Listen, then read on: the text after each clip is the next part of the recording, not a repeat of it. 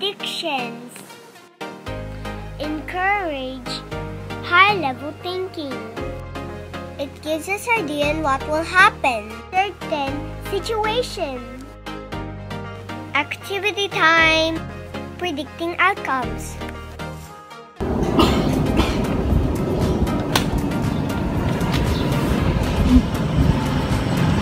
What do you think will happen?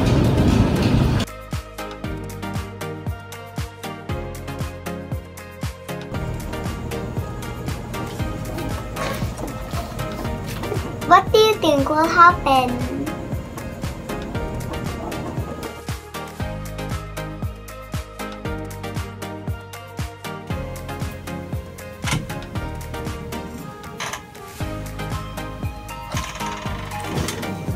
What will happen next?